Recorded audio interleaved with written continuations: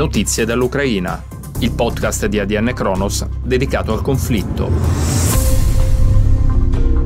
Bentornati da Carlo Intini. La presenza dei droni è centrale nel conflitto in Ucraina. Velivoli kamikaze senza pilota o utilizzati come ricognitori per sondare la presenza del nemico sul terreno. I droni, grazie ai loro bassi costi, sono protagonisti della guerra una presenza costante sui cieli ucraini, come confermato dal capo della direzione principale per la guerra elettronica e la sicurezza informatica di Kiev, Ivan Pavlenko. Se prendiamo il territorio da Zaporizhia a Liman, in alcune aree della linea del fronte possiamo registrare fino a 250-300 droni in volo contemporaneamente. Si tratta di apparecchi senza pilota di diversi tipi lanciati da noi e dai russi.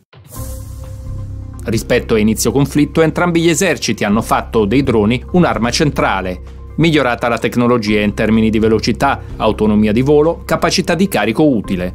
Per ovviare all'inferiorità rispetto all'aeronautica russa e alla minor potenza di fuoco della sua artiglieria, Kiev ha spinto molto per la produzione di droni, aiutando le aziende private a formare 10.000 operatori di droni l'anno.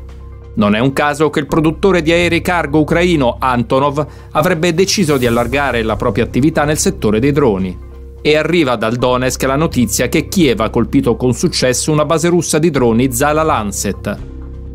Dopo l'uso massiccio di droni Shahed di fabbricazione iraniana, anche Mosca si è dotata di una flotta di droni prodotti in proprio, introducendo sul campo nuove armi elettroniche di disturbo. A fare il punto sull'uso di droni nel conflitto, il ministro per la trasformazione digitale ucraino Mikhailo Fedorov. L'Ucraina stima che la Russia stia distruggendo circa mille droni ucraini al mese.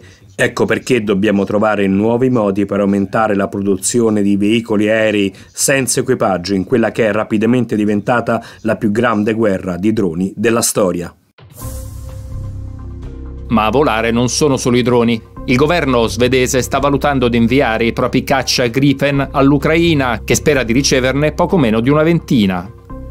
Il governo polacco deciderà unilateralmente il blocco del grano ucraino a partire dal 15 settembre, se la Commissione europea non estenderà il divieto di importazione di grano, mais, colza e girasole dall'Ucraina a cinque paesi dell'UE, Polonia, Slovacchia, Ungheria, Romania e Bulgaria. Ad annunciarlo il premier polacco Mateusz Morawiecki. E per ora è tutto. Notizie dall'Ucraina è un podcast originale ADN Kronos. Se questo podcast è di tuo gradimento, seguici anche dalla tua app podcast preferita, YouTube, Spotify, Google Podcast, Apple Podcast e Spreaker. Iscriviti al canale o abilita la funzione Segui per trovarci più rapidamente e la funzione Notifica che ti avviserà ogni volta che saranno disponibili nuovi episodi.